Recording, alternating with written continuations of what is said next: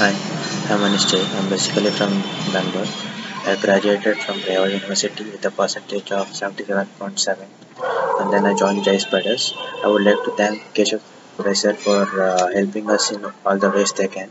I would like to thank the HRs uh, who have helped me uh, getting placed and I would also like to thank each and everyone in JSpiders who helped me getting placed.